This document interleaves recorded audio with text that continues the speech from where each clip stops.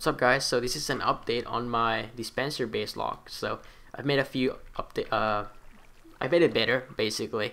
And how I made it better is I made it one apart so now it has blocks in between so that the that the items don't fall over to the other ones.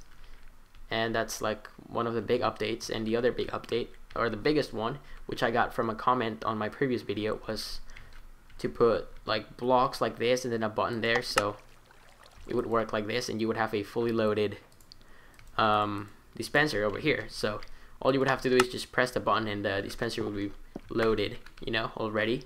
Of course this would all be covered but I know you can do that unless you're mentally challenged. When you can change the password for example I'm gonna make it so it's only the two outer ones I would do this. And now if I wanted to open the door I would do the two outer ones you know.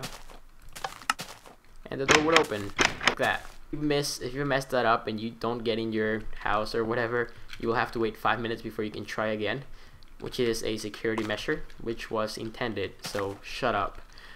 And if you put the wrong password in for example this this and this then you will also have to wait five minutes before those items despawn and you can try again.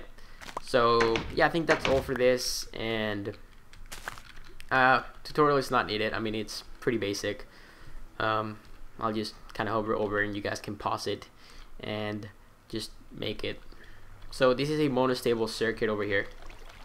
And um, okay so that's that's all for this video. And also wanted to say that you guys should check out my new website redstoner.com it's a website based around redstone and it will have a lot of cool things later on. Um, uh, and, but yeah we're, we're still working on it it's work in progress but you should definitely go check it out and register if you want to be part of the community. We have like 60 registered people so far, so yeah, we definitely need some more.